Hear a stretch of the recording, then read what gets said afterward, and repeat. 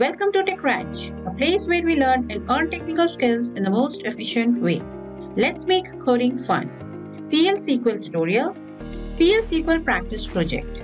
Today we are going to present to you a new series for PL SQL practice project ideas and execution for hands-on experience. So here we are going to show you live demonstration of all the practice project ideas we have presented in uh, the last uh, series of PL SQL and covered all the theories and fundamentals. Now here we are going to show you the live demonstration and coding exercises for practice project, getting the hands-on experience in PL SQL. So in our very first PL SQL introduction, we have covered about the PL SQL script writing. So here in this uh, session, we are going to cover the live demonstration of PL SQL script calculating average of five numbers and displaying the message. So almost we are going to cover the variable definition, declaration and uh, assignment, the string and number type of variables and along with that on condition, if condition, operation so that you can understand how it works in, in PL SQL scripting. Project idea, we have seen that we need to calculate the average of 5 marks obtained of a student and display the result if average is more than 50 is passed, else it will display failed using conditional operations in PL SQL script for school management system. So these type of things are very useful in real-time practice, uh, real-time project like school management system. Sometimes it is used for commercial purposes like retail management system, attrition management systems, and many other places. So here we are going to see the very basic and uh, simple script, a PL SQL script using variable definition, declaration, assignment, and if condition used and presenting a small demonstration of how it can be written for any other type of practice project. Now this will be the kind of a code you can see. So instruction is first whenever we come up with any problems and practice project ideas, First, we need to collect as much as information we can collect. So what do we have? We have to pick the five input numbers and calculate the average and using the very basic calculator like addition and division using variables and displaying thank you or displaying the message of the result by comparing the marks obtained the average is less than 50 or not. So first thing first, we need to declare the five numbers variable. So A, B, C, D, E are the five simple numbers, definition and declaration in your declare part of the PL SQL with the precision of 4 by 2. So that means basically if you have a decision, a decimal number, so that can be precise by two numbers.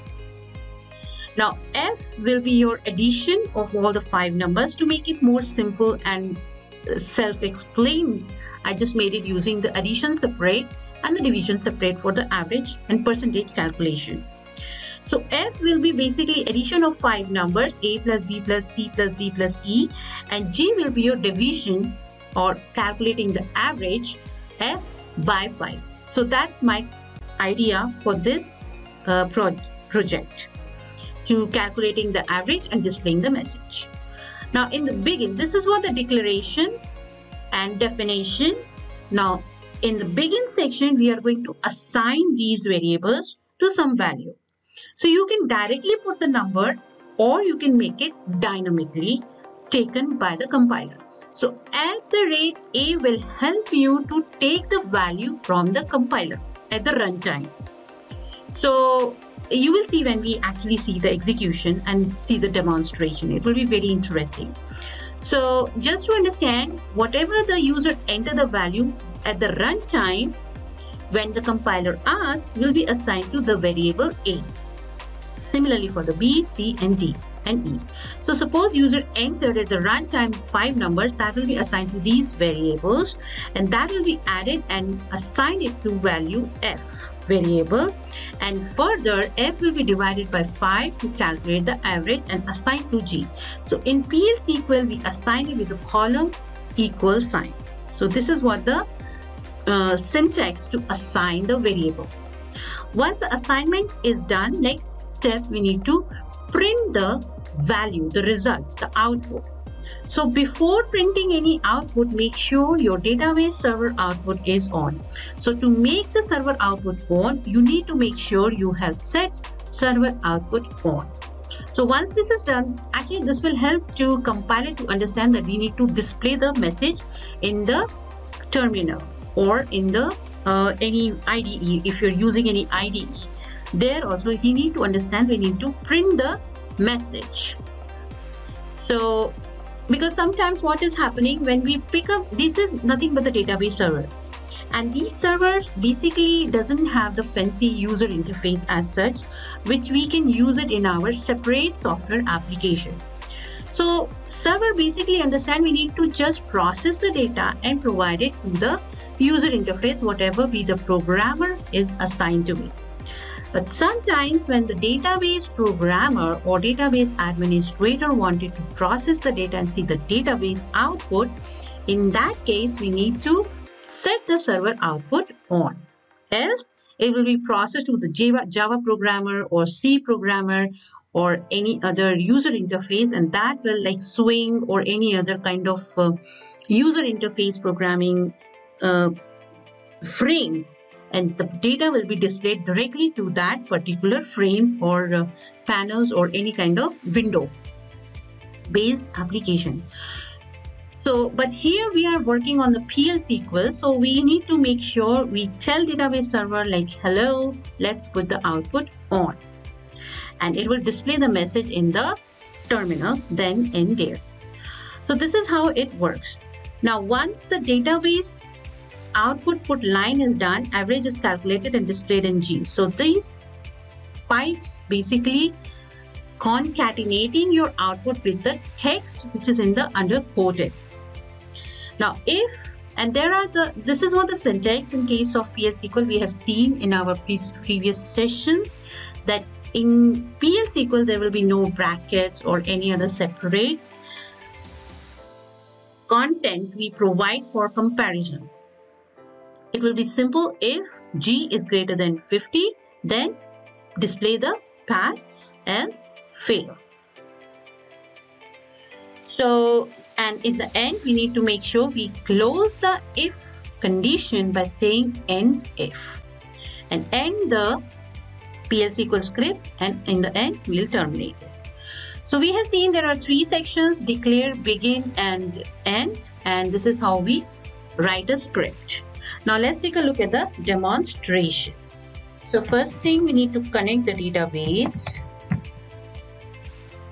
I'm running it all these things in the Oracle database server using SQL command prompt. There are some IDEs that will explain you in the end of the session that how you can have your IDE and make it easy to execute and work on those systems. And once the connection is done with your database. And uh, this is a direct program so you don't have to I'll do one thing. I will make a code in a notepad and then I will save it in a SQL file and that SQL file will be executed in the command prompt in the terminal.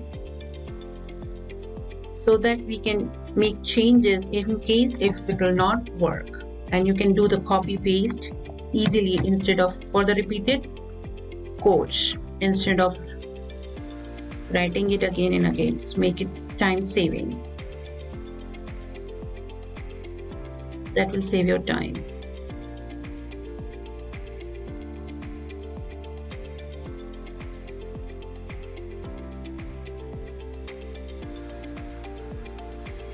So declare and all the variables are declared here successfully. Next, begin, where we are going to assign these variables.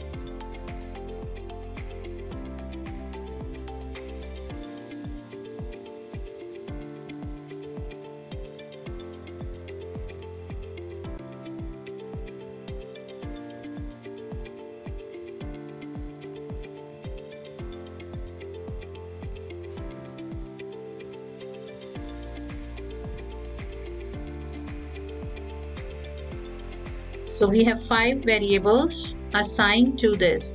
So this at the rate basically help you to make it in a dynamic and runtime execution. So F will be assigned your A plus B plus C plus D plus E and termination. Now once this is done, G assigned to F divided by 5 because we are calculating the average. Then DBMS, this is your output, printing the output to the server, displaying the message. So this is the function we use. And a single quote averages.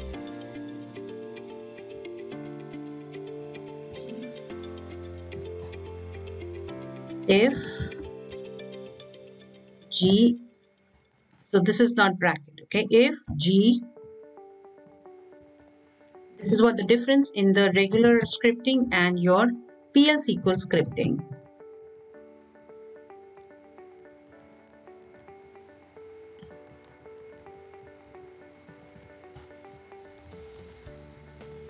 This is actually case sensitive so make sure you use uh, uppercase and lowercase for DBMS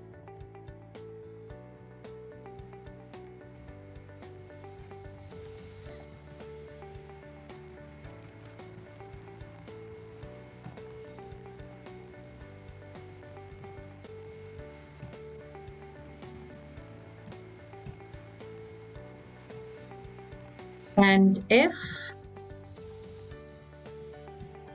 and your script and the termination. So what is the difference? If you're writing in a notepad, you need to make sure tell Oracle engine that we need to terminate these statements after execution entire statements.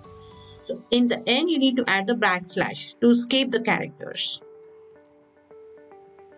And here I'm going to save it in my desktop or you can save it in your C drive to make it simple execution and give the name to average.sql. Permission denied because of primary partition of the database. Here. So my SQL is inside my folder. Now here I can just uh, read the path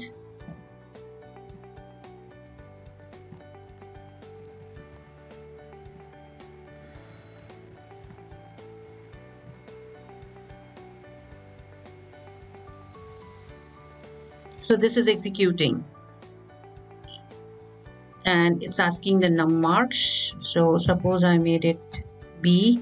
So this is runtime execution. And here the compiler is asking the five numbers to enter to calculate the average.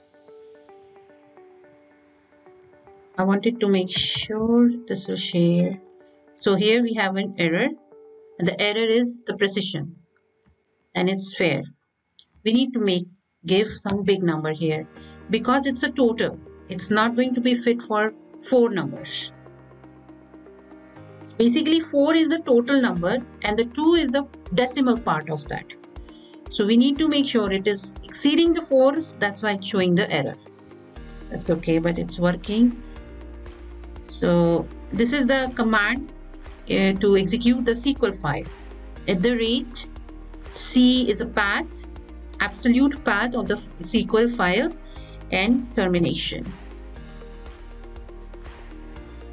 And uh, this is runtime. So here you can see this is not printing the message of the, uh, it is not showing the message. It is working. It is compiled and executed successfully, but it is not printing the message. The reason we need to tell server to put the output on. Let's try to execute once again.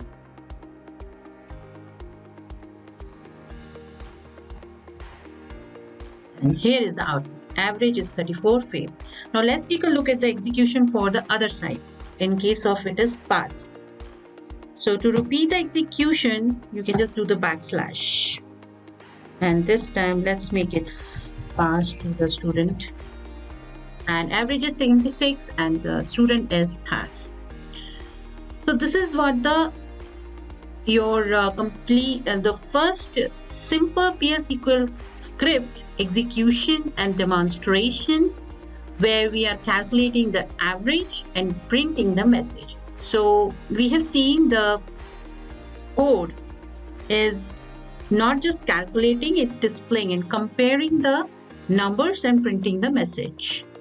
Now, in case if you want to see this execution in the IDE, there is one IDE called SQL Developer. Here you go. I need the SQL worksheet.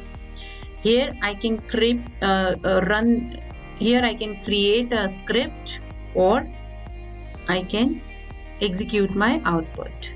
So suppose I have this execution script and I wanted to run this it will asking me the error numbers five numbers and this is the output. You can see here. Average is 56 and it is passed. So this is how it processed. And uh, here we have given the numbers. But in real practice project if you see these numbers are taken from the database. And that we see in the next session. So stay tuned and uh, see how we can process next session that taking the data from the database and process it and displaying the message. So this is why going to be my next topic for the next practice project in PL/SQL. In case of any queries, concern, questions and source code, please feel free to contact techranch2019 at gmail.com. Thank you so much for watching this video. Please subscribe and stay tuned for more upcoming interesting informative sessions. Let's make coding fun. Thank you.